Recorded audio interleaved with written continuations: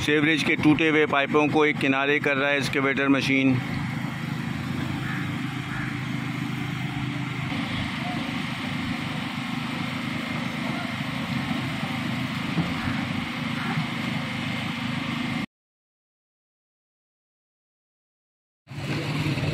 बसमीम अल्लाम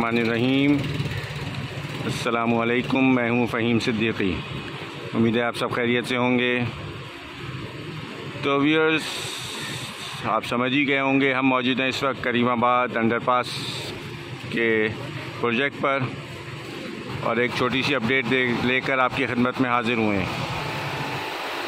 ये प्रोजेक्ट जो कि पिछले साल 24 दिसंबर सन 2023 को शुरू हुआ था और आज हो गई है सितंबर की तारीख़ 26 और यहाँ पे क्या पोजीशन है वो हम आपको दिखा रहे हैं। तो देखिए हमारे साथ इस वक्त भी यहाँ पे किसी भी किस्म का कोई काम नहीं हो रहा है। ये रास्ता जा रहा है हुसैनाबाद चौरंगी की तरफ़, उस्मान मेमोरियल हॉस्पिटल की तरफ़। और ये सराउंडिंग की बिल्डिंग्स आप देख रहे हैं इस वक्त स्क्रीन पे। कि इलेक्ट्रिक की टीम काम में मसरूफ़ है और ट्रांसफार्मर को जो यहाँ पोल पे लगा हुआ था, ये सब गाड़ियाँ मिल के और क्रेन के ज़रिए यहाँ से मूव करने का काम कर रही हैं इस वक्त। काम की रफ्तार इंतहाई स्लो है, बिल्कुल ना होने के बराबर है। ये अंडर पास 1080 मीटर लंबा है, जबकि 6.1 मीटर इसकी चौड़ाई है।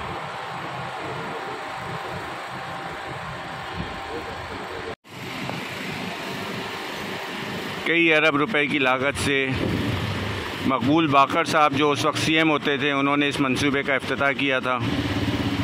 और ताहाल इसकी रफ्तार इंतहाई सुस्त है।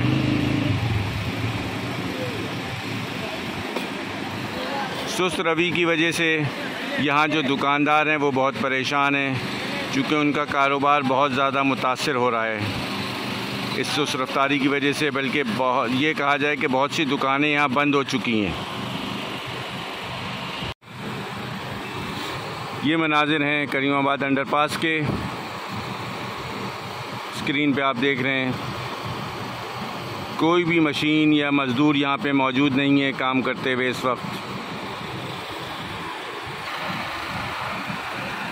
और दुकानदार हाथ पे हाथ धरे बैठे हुए हैं। और यहाँ इस वक्त लाइट भी नहीं है, क्योंकि के इलेक्ट्रिक का अमला काम कर रहा है।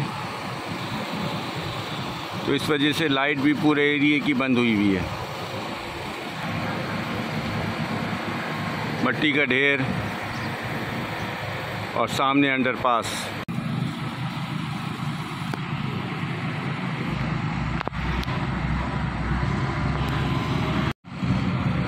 यहाँ पर एक स्केवेटर मशीन मौजूद है जो कि इस वक्त टर्निंग ले रही है। क्या करने जा रही है वो देखते हैं।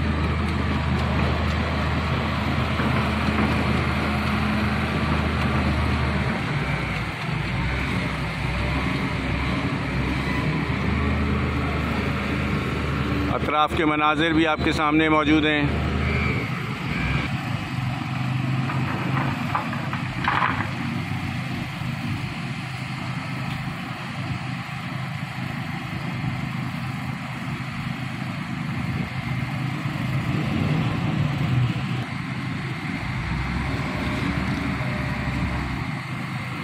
और ये इसके मशीन इस वक्त यहाँ पे ज़मीन को लेवल कर रहा है।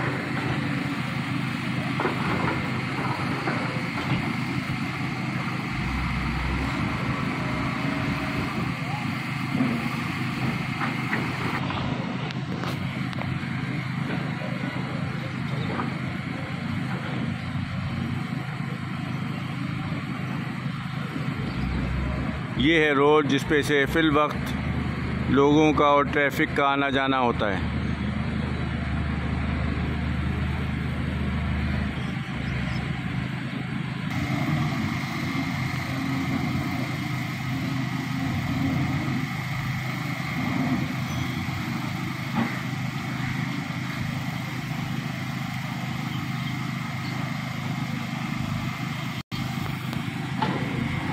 सेवरेज के टूटे हुए पाइपों को एक किनारे कर रहा है एक्सकेवेटर मशीन।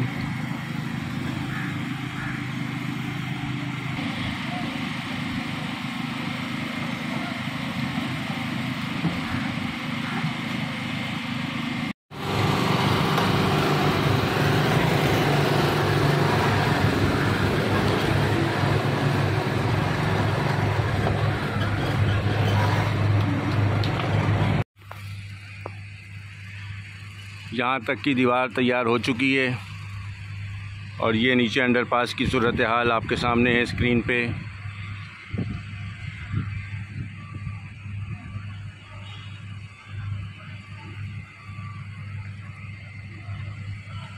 तो व्यूअर्स ये थी एक छोटी सी अपडेट वीडियो को शेयर करें। मिलते हैं नेक्स्ट वीडियो अपडेट में। मुझे इजाज़त दें।